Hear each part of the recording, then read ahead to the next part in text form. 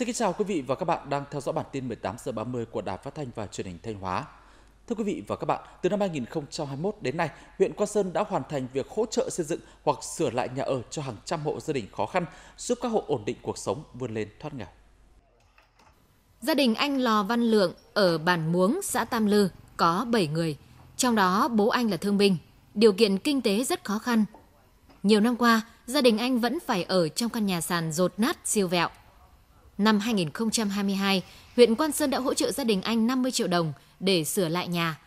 Anh Lượng chia sẻ, nếu không có nguồn tiền này thì không biết đến lúc nào gia đình anh mới sửa chữa được nhà. Gia đình với lại các em cũng rất là cảm ơn các à, sự hỗ trợ của nhà nước với lại chính quyền địa phương thì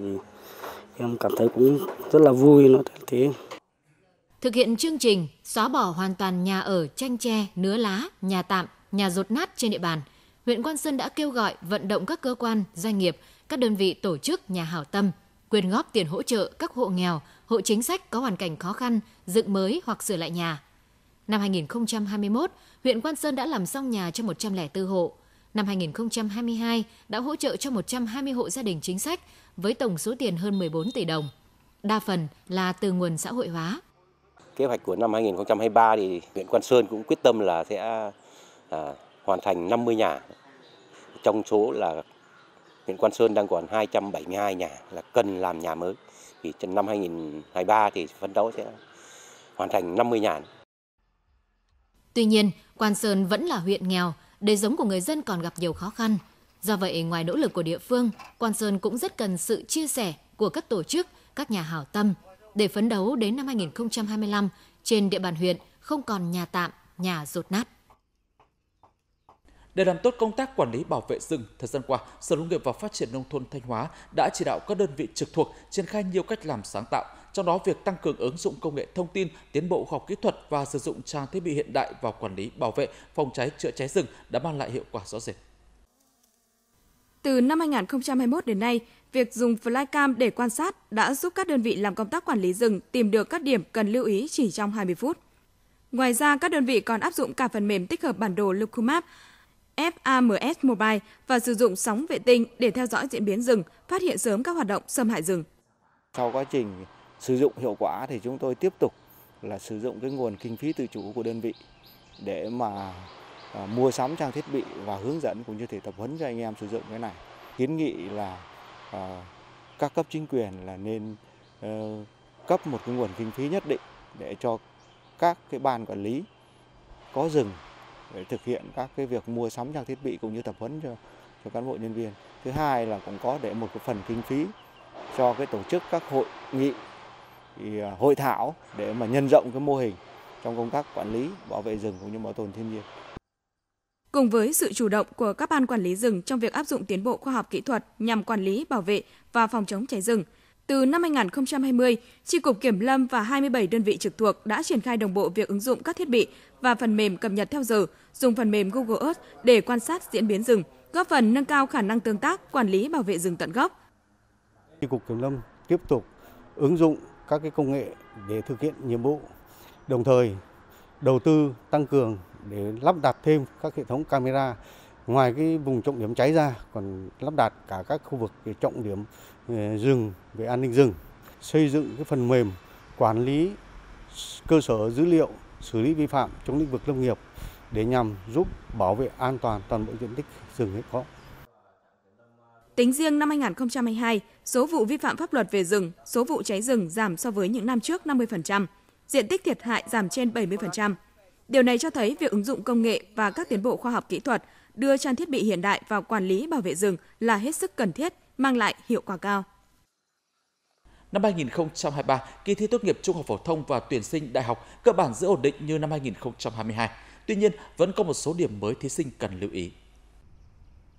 Kỳ thi tốt nghiệp trung học phổ thông năm 2023 sẽ diễn ra từ ngày 27 đến ngày 30 tháng 6 năm 2023, sớm hơn năm 2022 gần 2 tuần. Thời gian đăng ký nguyện vọng xét tuyển và công tác tổ chức xét tuyển nhập học của các trường đại học cũng đẩy sớm hơn từ 2 tuần đến 1 tháng so với năm 2022.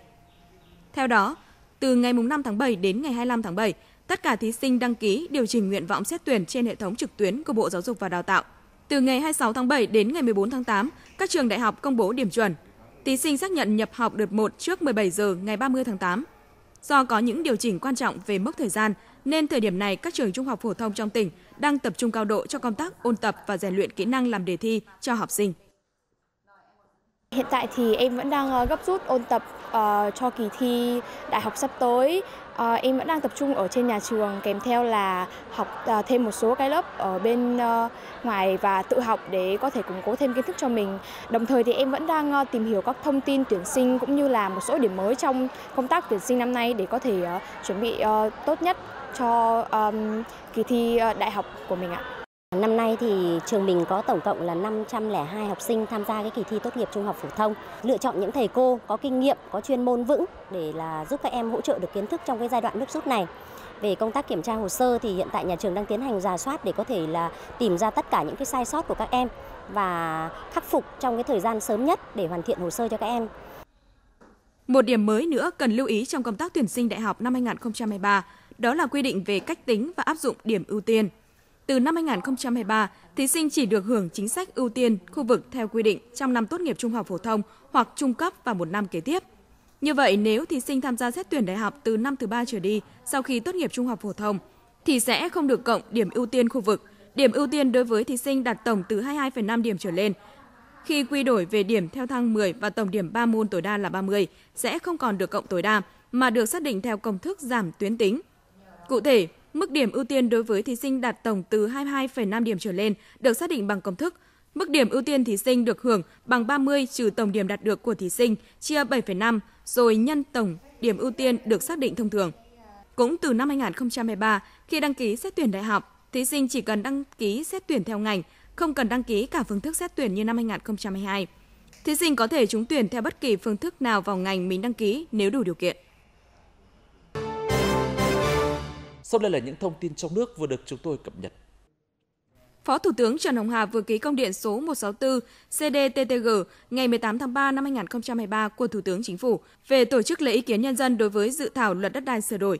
Để việc tổng hợp giải trình tiếp thu ý kiến của nhân dân đảm bảo đúng tiến độ, chất lượng theo yêu cầu của nghị quyết số 671 NQ UBTV QH15 của Ủy ban Thường vụ Quốc hội và nghị quyết số 170 NQCP của Chính phủ, Thủ tướng Chính phủ yêu cầu các bộ trưởng, thủ trưởng cơ quan ngang bộ, cơ quan thuộc chính phủ, chủ tịch Ủy ban nhân dân các tỉnh, thành phố trực thuộc trung ương khẩn trương tổ chức tổng hợp xây dựng báo cáo kết quả lấy ý kiến nhân dân gửi Bộ Tài nguyên và Môi trường, đồng thời gửi Ủy ban Kinh tế Quốc hội theo đúng thời gian đã nêu trong kế hoạch của chính phủ, chậm nhất trước ngày 20 tháng 3 năm 2023.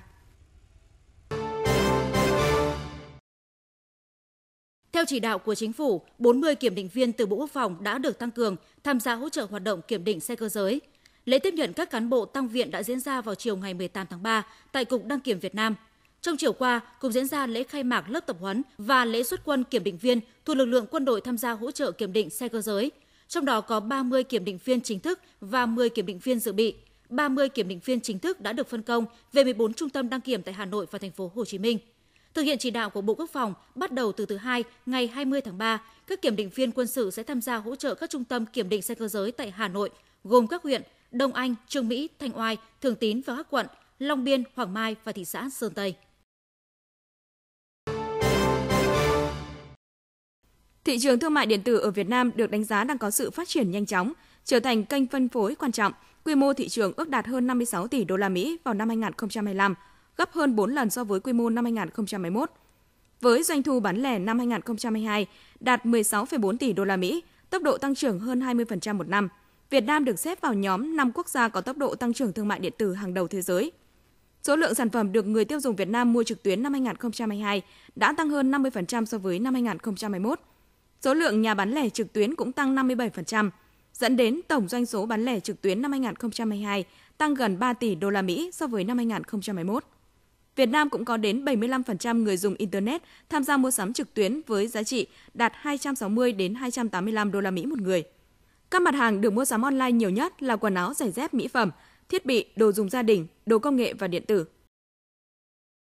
Bản tin 18 giờ 30 hôm nay sẽ được kết thúc tại đây. Cảm ơn quý vị và các bạn đã dành thời gian theo dõi.